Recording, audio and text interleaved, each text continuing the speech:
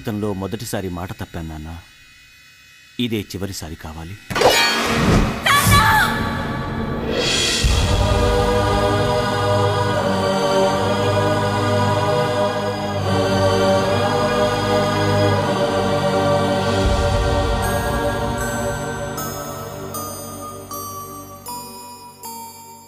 పెదనాన్నగారు జానకి నేను తోడుకోడలమైన తోబుట్టువుల్లా ఉన్నాం. వీణ్ణి కన్నది జానకి అయినా పెంచింది నేను. వీణ్ణి నేను తీసుకెళ్తాను. తీసుకెళ్ళమ్మా. గంజాయి వనం లాంటి ఆ ఇంట్లో వీడైనా ఒక తులసి మొక్క అవుతాడు. నా కూతురు చావుకు కారణం తెలిసి కూడా మౌనంగా ఎందుకున్నానో తెలుసా? ఈ విషయం నా కొడుక్కి తెలిస్తే ఇంకెన్ని చావులు చూడవలసి వస్తుందోనన్న భయంతో ఇక నుంచైనా వాళ్ళని మనుషుల్లా బతకమను? అయ్యే అయ్యే. ఏండే ఈయనే బాబు సేట్ అంటే అమృత్సర్ నుండి రాయి కొనడానికి వచ్చాడు. ఇంతకు ముందు సేమకుర్తి టెక్కలి కోరిలు రాయి మొత్తం కొన్నది ఇతనే. నమస్కారం అండి. నమస్కార్. సాబ్ పశుపతి నాయుడు. క్యా? పశు? పశుపతి. ఆ పశుపతి అంటే యానిమల్ హస్బెండ్ నాయుడు. ఏంట్రా అంటున్నావు? మీ పేరు ఇంగ్లీష్లో చెప్తున్నాను ఏ రహే ఆప్కే? పచ్చీస్ లాక్ అడ్వాన్స్. అరే తీసుకోరా. పచ్చీస్ లాక్ అంటే పాతిక లక్షలేనా? నేనేమన్నా హిందీ పండిట్నా? అంతే అయి ఉంటది. ఆ, ఆ, ఓకే ఓకే సెట్ సాబ్. మీరు వచ్చే నెల మిగతా డబ్బు ఇచ్చేసి రాయి పట్టుకెళ్ళండి నమస్కార్. నమస్కారం నమస్కారం. ఇరా చాలా మంచోడ్లా ఉన్నాడు రా మనం ఉండడం ఏంటి? ఆ? అమ్మగారు?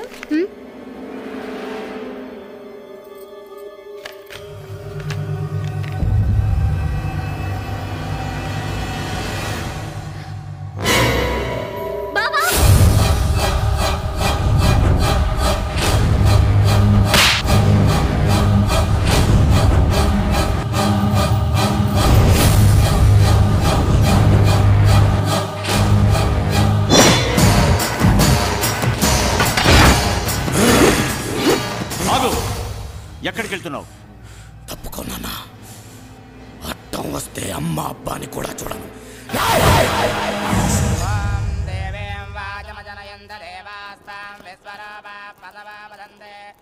కొంచెం నవ్వు ఇదేం తద్దినం కాదు.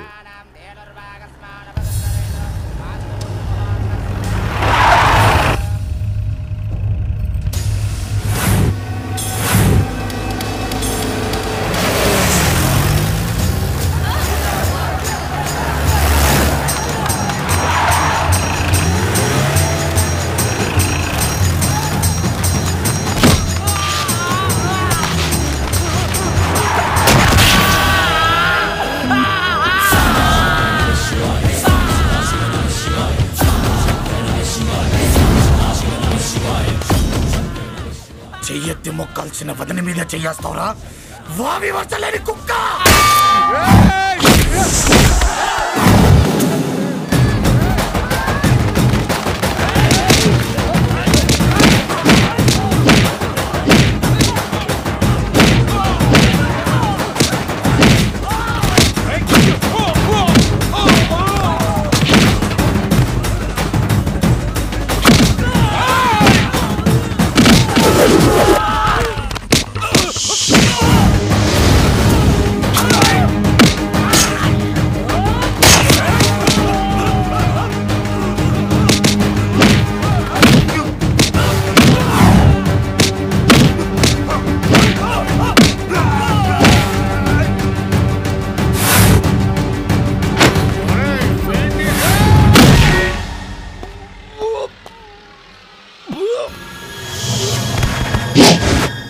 నువ్వు దొరికావా? చచ్చిపోతావు? పారిపో ఇక్కడి నుంచి.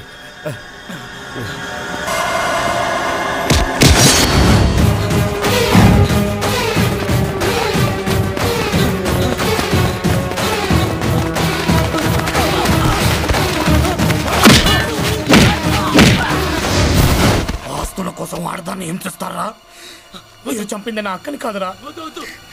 నా తల్లిని. ఏయ్,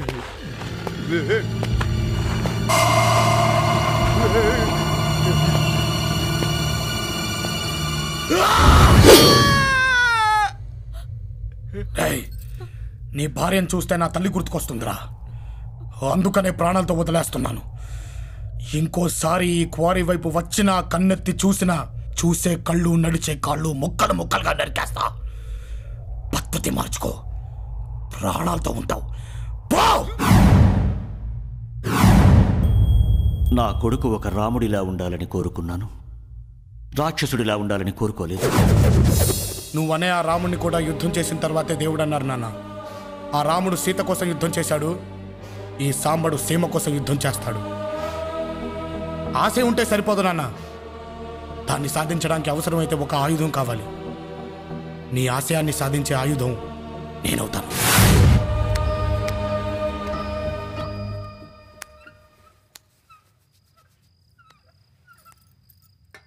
భోంచేయండి. మిమ్మల్ని.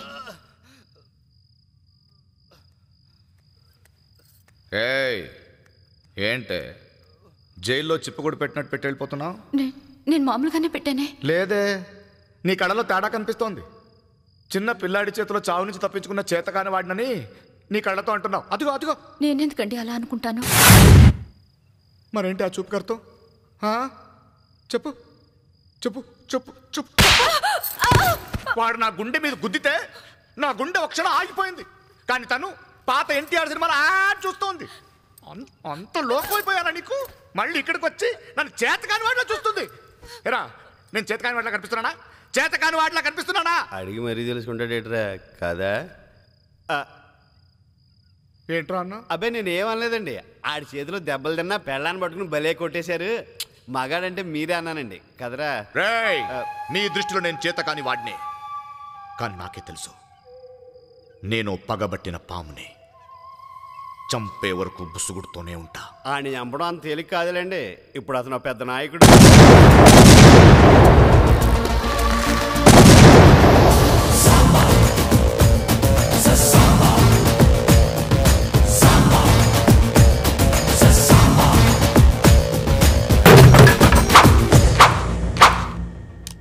ఏసేండి అన్న.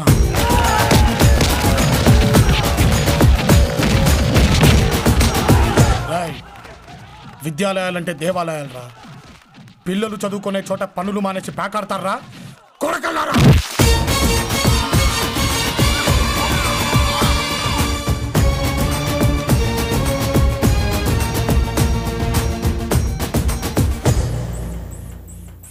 మీరు ఎంత గాలి కొట్టినా లాభం లేదండి. ఈ బుడగ బొక్కడిపోయింది బీపీ బాగా ఎక్కువగా ఉంది. ఎందుకు ఉండదండి? ఈ రోజు ఏపీ మొత్తం మీద బీపీ ఎక్కువ ఉన్న క్యాండిడేట్ ఈయన అయ్యి ఉంటాడు. కోరి కోరి అన్నాడు. ఆడు సారీ నా గుద్దు గుద్దాడు. రాతిగుండు కాబట్టి మనం బ్యాడ్ లక్ కొలిది బతికిపోయాడు. అన్నా మనం నాలుగు సఫరీలు తిరుగుతున్నామని వాడు ఆరు సఫరీలు తెప్పించాడంట. ఏం చేద్దాం? మనం డ్రైవర్గా చేరదామా?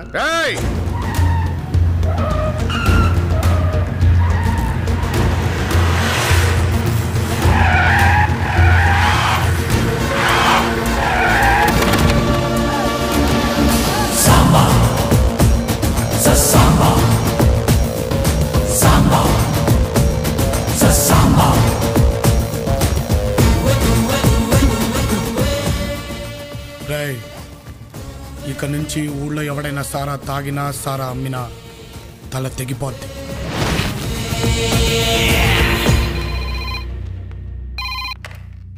హలో?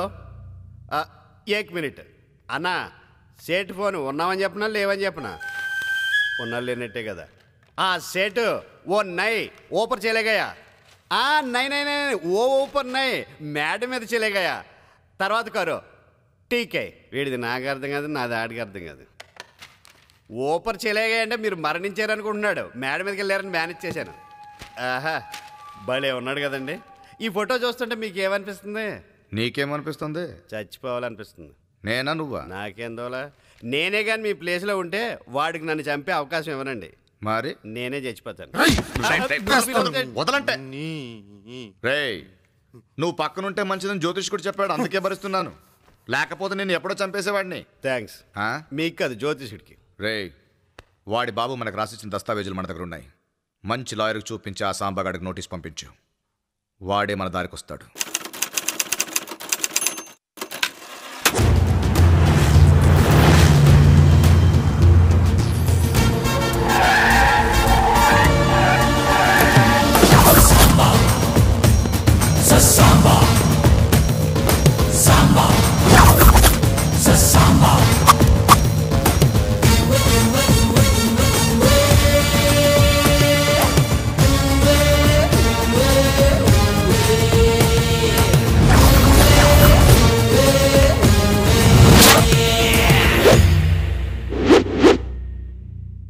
మాటలు నేర్చించలక ఉసుకో అంటే డిస్కో అవుతుందట అలా ఉంది ఇది. ఎందుకు నోటీస్ పంపించావు? ఎందుకు పంపానో కోరి నాకు రాసిచ్చిన మీ నాయన చెప్పలేదా? రాయడానికి ఆయన ఎవరు? రాయించుకోవడానికి నువ్వెవడివి? అది నా తాత సొత్తు. తాత సొత్తు మనవడికి మాత్రమే దక్కుతుందని. చెప్పలేదా మీ లాయరు? అంటే సెక్షన్ వన్ థర్టీ సిక్స్ ప్రకారం లాయరు!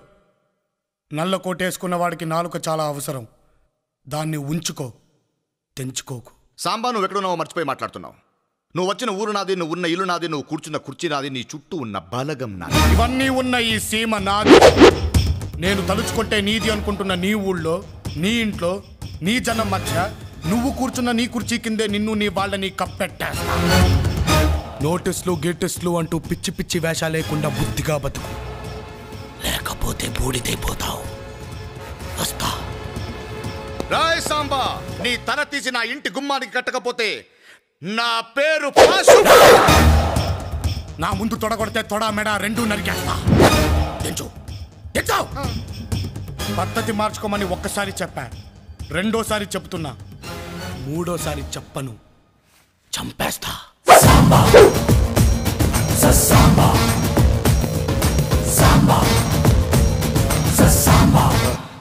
చావుని చాలా దగ్గరగా చూసినట్టుంది కదండి.